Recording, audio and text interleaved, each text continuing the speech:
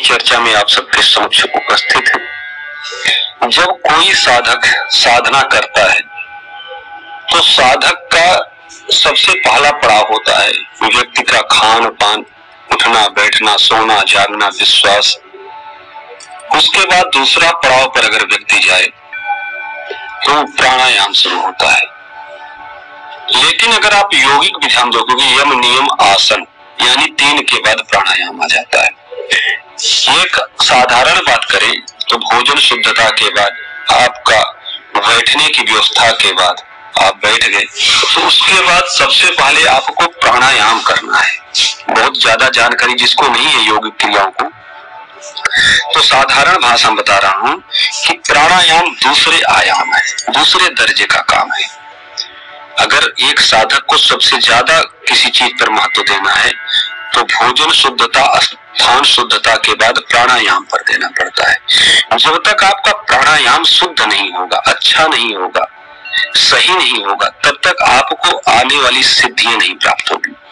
आपके जो भी सिद्धि है, जो आप प्राप्त करना चाहते हैं, जो चक्र आप जागृत करना चाहते हैं, उन सब में बड़ी दिक्कत ये आएगी कि आपके या तो जागृत नहीं होंगे, और अगर जागृत भी हो रहे हैं तो कहीं नहीं कहीं फंस जाएँगे, जिससे आपको नाना प्रकार की समस्याएँ हो सकती है।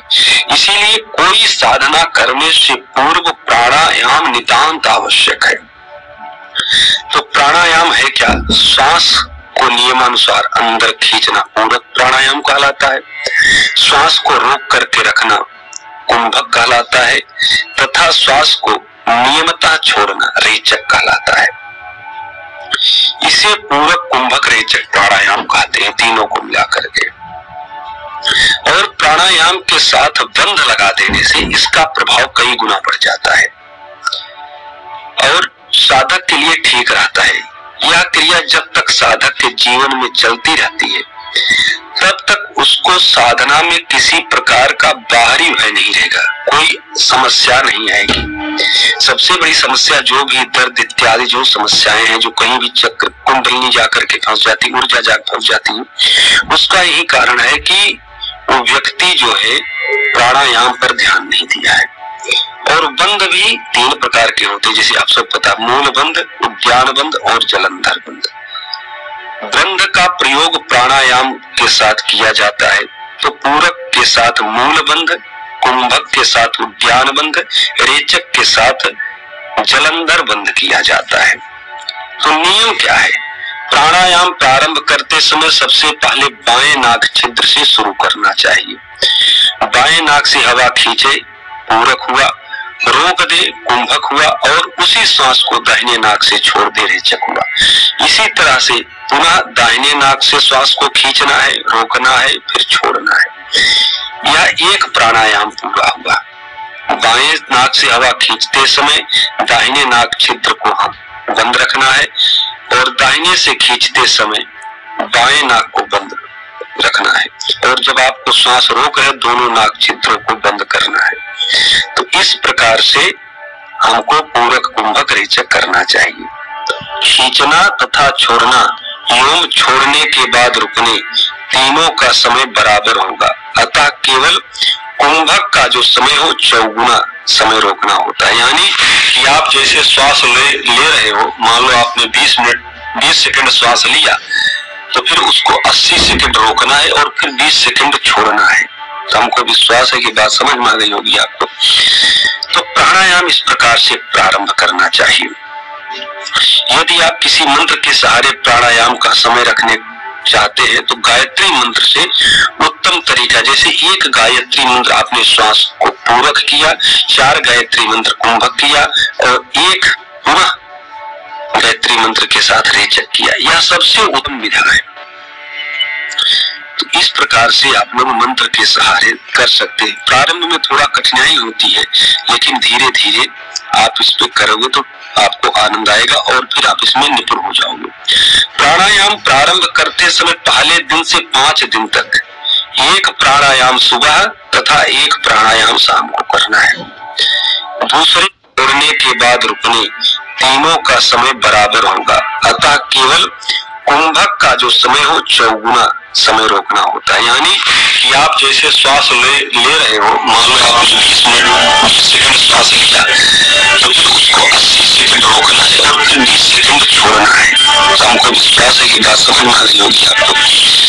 तो प्राणायाम इस प्रकार से प्रारंभ करना चाहिए।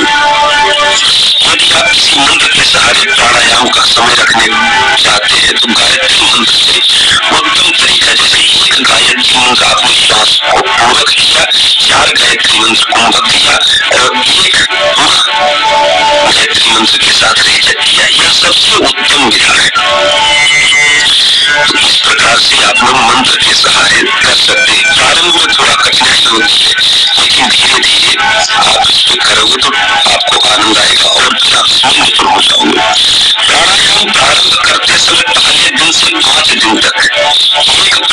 सुबह तथा एक प्राणायाम शाम को करना है। दूसरे दिन जो है थोड़ा इसकी संख्या को बढ़ा सकते हैं।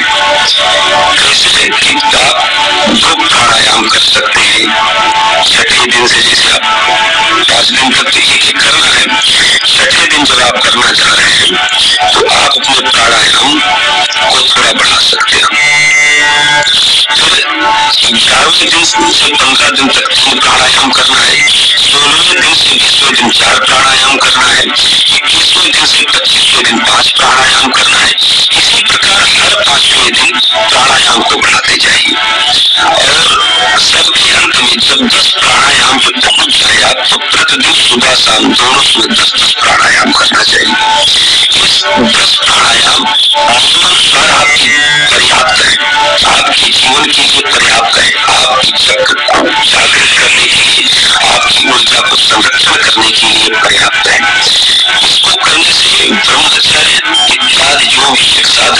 साधक हो लिए ज़रूरी को ठीक कर देंगे।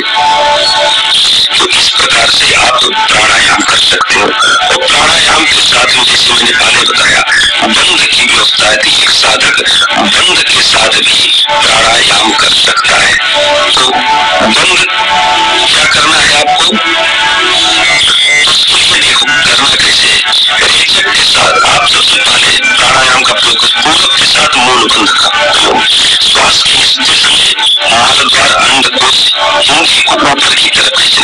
हम लोग ऊपर मूल लगाते तो उस प्रकार से आपको खींच करके अपने गुदा द्वार को ऊपर रखना है और जब आप कुंभक के साथ उद्यान बंद लगाना है श्वास को जितना समय रोका जाए उतना समय तक मल द्वार अंडकोश इंद्री जहाँ तक ऊपर खींचिए वहाँ रोक करके रखना है और पूरे पेट को अपने अंदर जैसे आप हो श्वास को पूरा उसी प्रकार से महसूस रखना श्वास को और बंद को।